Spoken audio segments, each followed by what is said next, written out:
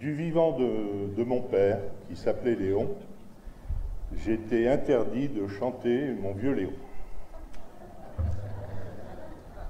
Le problème ne se posant plus, j'ai essayé de rendre un hommage avec euh, cette sympathique chanson et euh, d'essayer de tourner ça pour simple guitare en une espèce de valse musette, ce qui est caractéristique de l'accordéon.